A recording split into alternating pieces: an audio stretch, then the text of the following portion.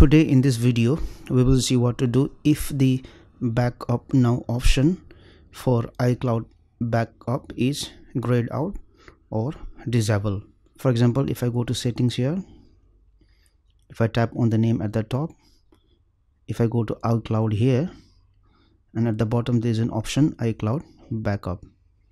So generally this backup now it should be enabled and you should be able to back up the device to the iCloud. But but uh, if you see that the backup now button is disabled then let us see some of the ways by which we can try to fix the issue.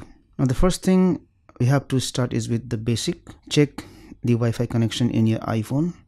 Try to open a website or try to open a YouTube video and check if you have internet connection in your device or not. If you see that you have problem with the internet connection then restart the router and check if you can start the backup process again or not.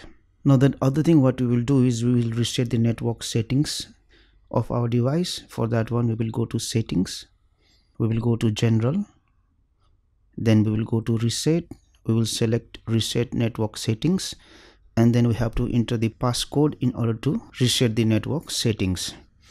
So this will reset the networks related to mobile wi-fi etc also the other thing what we have to do is we have to check how much of space is left in our icloud.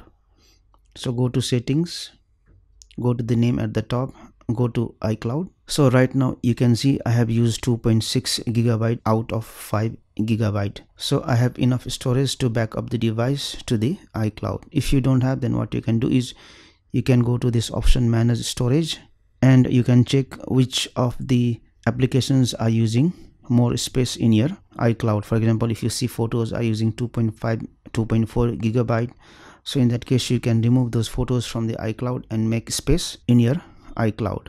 Or else the next option for you will be to purchase more storage for your iCloud. Now again the other thing what we will do is we will go to settings, we will go to screen time, then we will go to content and privacy restrictions, scroll down and we have the option here account changes, select it and make sure that it is always selected to allow. Now suppose if you are using VPN in your phone in order to access websites or videos that are not allowed in your country then sometimes because of the VPN also you might not be able to back up your iPhone to the iCloud so for that one I will go to settings here and I have an option here general let me open it.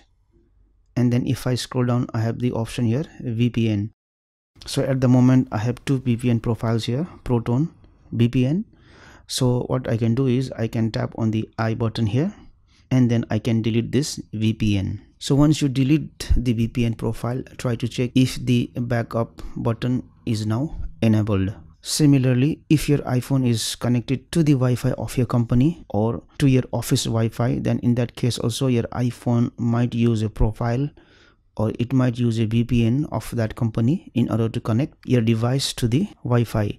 It is done so that you have a secure connection to the Wi-Fi and because of those profiles or because of those VPN you may not be able to back up your iPhone to the iCloud so similar to this VPN you will see profile at the bottom here and you have to go inside that profile and you will see what profile is installed and then you have to delete that profile from your iPhone and check if you can back up your device to the iCloud or not. Or else what you can do is instead of connecting to your company's Wi-Fi what you do is try to connect to your own Wi-Fi and check if the backup now button is enabled or not. Now the other thing what you have to do is you also have to check if there is an update available for your iOS version or not. Maybe there is a problem in the iOS version due to which you are not able to back up your iPhone to the iCloud. So what you do go ahead and open settings go to general go to software update now the device will check if there is an update available. Like for me i have an update which i have to download and install. So similarly if you have an update pending please download and install the update and check if the backup now button will be enabled or not. Now the last thing what you have to do is maybe it's not because of your device but sometimes the apple server might be down which happens in rare circumstances. So what you do is you go ahead and open chrome browser or any other browser. And then you have to open a site here apple.com slash support status. So we will open a website apple.com slash support slash system status. And here what we will do is we have to tap on this plus icon here. And you have to make sure that the iCloud option or iCloud backup option is available so if it is unavailable at the moment then you will not be able to back up your iphone to the icloud. So do all of these steps and check if the backup now button will be enabled in iphone or not. Thank you for watching this video. Please subscribe to my youtube channel and hit on the bell icon to get the notification of our latest videos for free